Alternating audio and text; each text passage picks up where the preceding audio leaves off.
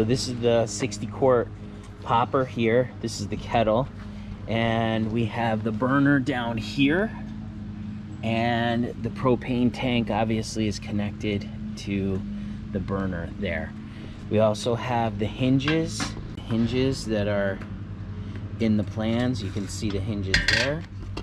And also on this side, you can see how the handle attaches to the hinge piece. And you can mount that on either side. It can be a left or a right-handed dump on there. This is the stopper, so this stops it from falling down lower, and then you can also tip it up and down that way.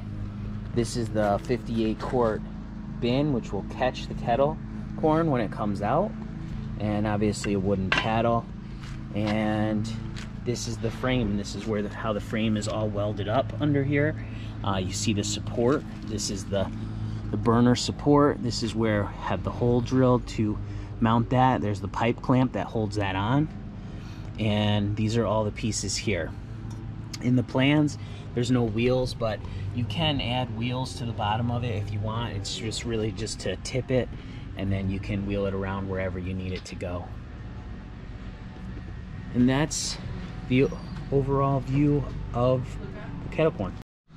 All right, here we have the propane setup for the kettle corn machine. This obviously turns the gas on and off from the propane tank.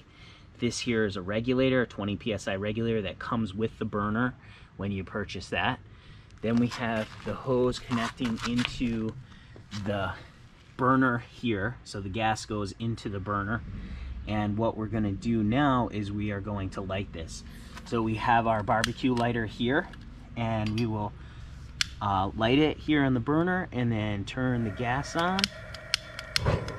And you can see that it's a nice blue flame. If it's not blue and it's too yellow, there is an air adjustment here.